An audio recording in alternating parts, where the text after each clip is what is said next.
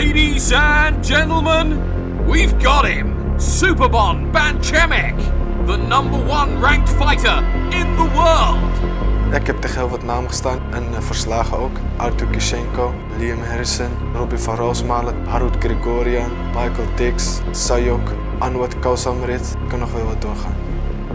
Mohammed Kuma! Wereldniveau, wereldpartij. Gewoon next level.